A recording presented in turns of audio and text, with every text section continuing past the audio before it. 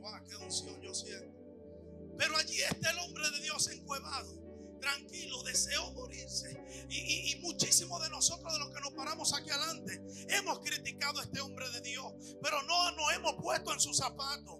El hombre, eh, yo creo, Wellington piensa que Dios permitió que todo esto pasaba, pasara, porque Eliseo tenía que cumplir un tiempo y una misión en la tierra. ¿Cuál era esa misión? Vino la voz de Dios sobre este hombre llamado Elías y le dijo, úngeme a, Hazael, úngeme a Jehú como rey de Judá, pero úngeme también Eliseo en tu lugar. Y todos decimos, pero ¿por qué Dios mandó a ungir a Eliseo en lugar de Eliseo, de Elías, perdón. Y, no hacemos esta pregunta, pero lo que ustedes no saben es que ya el tiempo y el propósito de Elías en la tierra había cumplido como la voz de Dios en la tierra. Ya el propósito de Elías era adiestrar a este hombre llamado Eliseo, adiestrar, enseñarle cómo Dios se mueve. Acuérdense que Eliseo no era un hombre que la Biblia menciona que era de oración. Tampoco era un hombre, un hijo de los profetas, como estaban los hijos de los profetas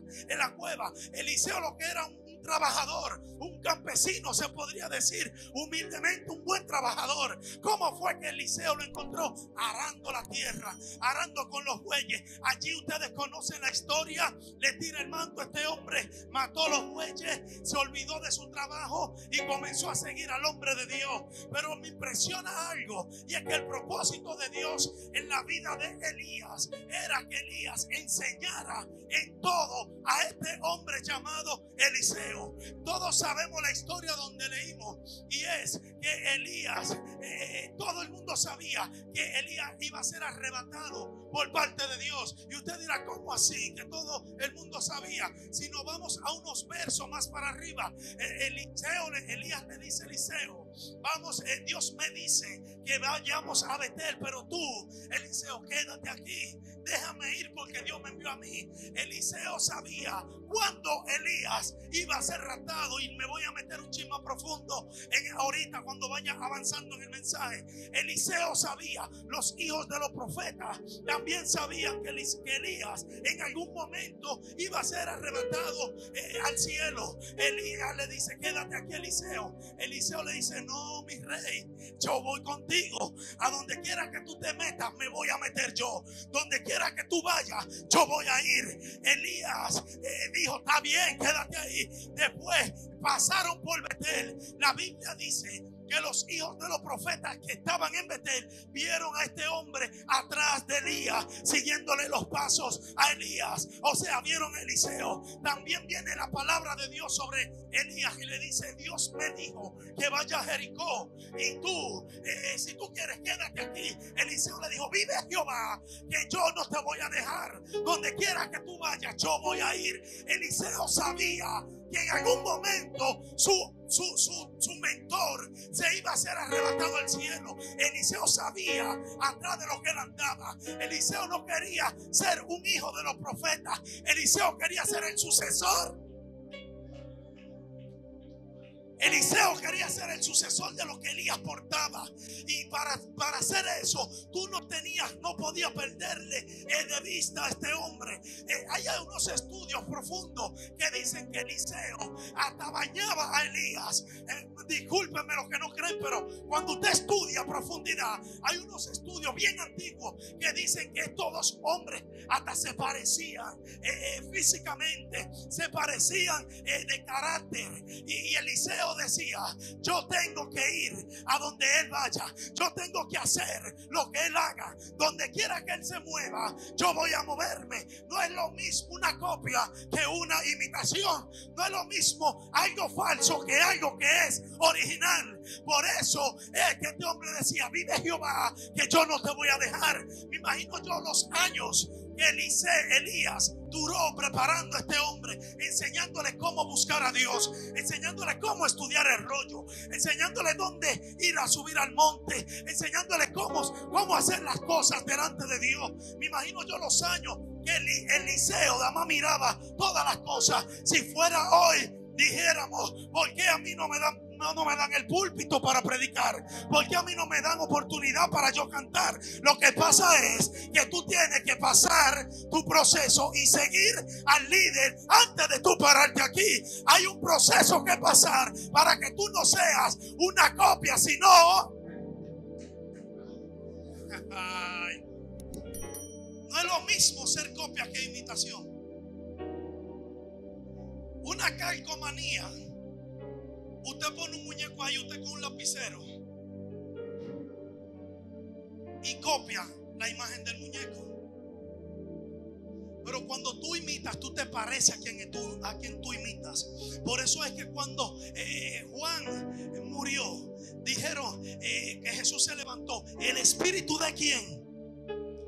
Juan parece como que revivió, o sea, en Jesús, pero que había una mezcla en Jesús y en Juan, una mezcla de carácter. Juan tuvo que menguar para que Jesús pueda crecer. O sea, se parecía, imitaban. Acuérdate que Juan le llevaba como 5 o 7 meses, o 4 creo que era, a Jesús. Y Jesús imitaba a este profeta llamado Juan. Por eso fue que Herodes dijo, ve acá, fue el espíritu de Juan el Bautista, que es que se levantó desde los muertos. No, no era Juan, era Jesús. Y esto es lo que está pasando mucho hoy en Dominicana. Y es que nos gusta imitar, nos gusta copiar a los evangelistas que están siendo no, no queremos ser eh, idénticos. No tenemos identidad propia. Queremos imitar a los grandes que están por ahí. Si el grande se sacude de una forma, yo tengo que sacudirme de esa forma. Y no es así. Tú tienes que tener tu propia identidad. Pese lo que pese,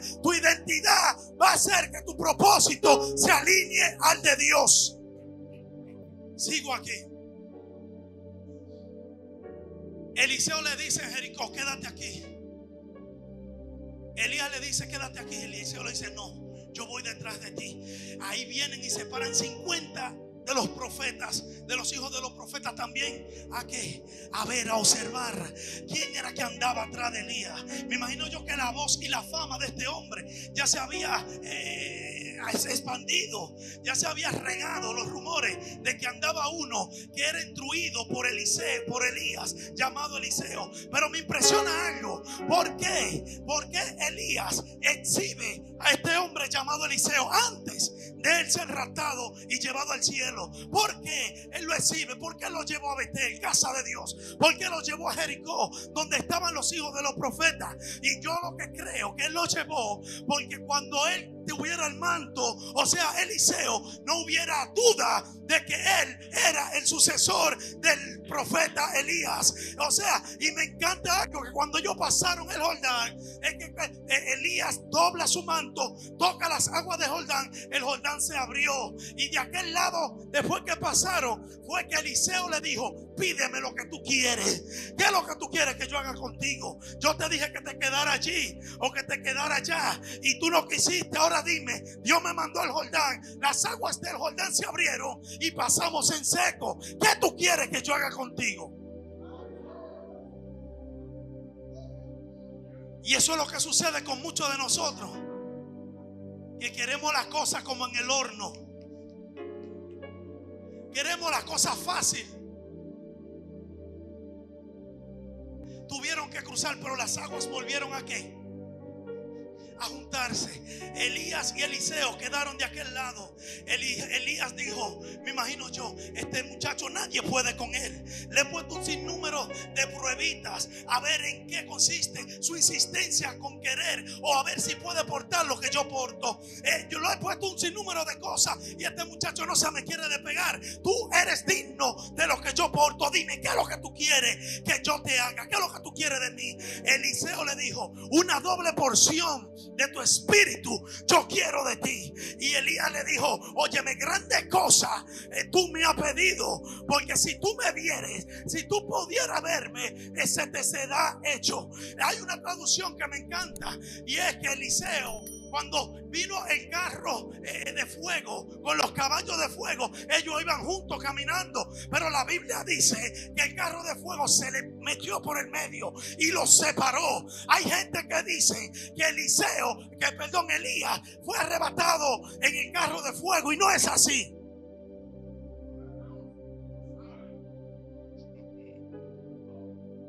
Lea la Biblia.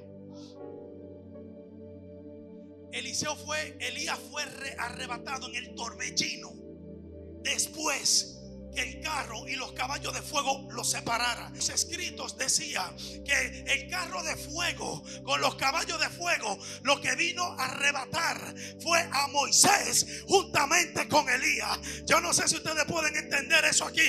¿Sabe por qué? ¿Dónde te lo voy a confirmar? Como decían los manuscritos, acuérdate que cuando Jesús subió al monte de la transfiguración, ¿quiénes fueron los que se le aparecieron? ¿Quiénes fueron? Si Elías fue arrebatado en el torbellino, Débora, ¿cómo es posible que, el carro de fuego nada más fue para separarlo? No fue para separarlo, era que había una palabra y un mandato de Dios con Moisés de que su cuerpo tenía que ser también ascendido al cielo. Y Dios no se queda con lo de nadie. Ahí fue arrebatado Moisés juntamente con Elías. Por eso que en el monte de la transfiguración se le apareció eh, Elías y, allí se apareció y dijo uno, vamos a hacer una casa para que yo more. Pero ¿por qué Cristo tuvo que, que transfigurarse? en ese cuerpo porque tenía que igualarse a esos seres que se aparecieron en aquel lugar también. Seres eh, eh, celestiales, podríamos decir. Cristo dijo, yo no puedo en mi humanidad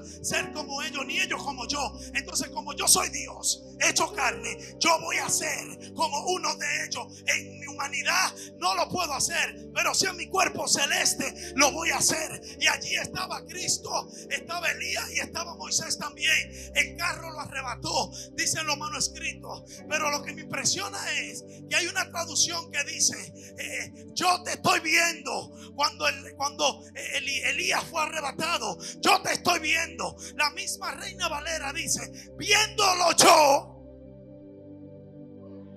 ser arrebatado al cielo. Y el mandato era, si tú me vieras. Por eso es que cuando Eliseo lo ve, está gritando y dice, Padre mío, Padre mío, carro de Israel y su gente de a caballo. La Biblia dice que enseguida rasgó su vestido. Porque era que cuando él lo viera, e, el manto tenía que caerle. Eliseo no había recibido nada todavía. Y él estaba viendo al hombre ascender al cielo. Y Eliseo tranquilo en el piso, diciendo, pero ve acá. La cosa era que si yo te podía ver arrebatado ascendiendo al cielo, a mí me iba a caer una doble porción de tu espíritu. ¿Dónde está?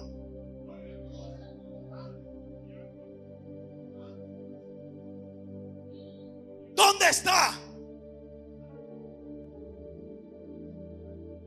Eliseo rasgó, rompió su vestido. Él peleó por lo que él estaba buscando.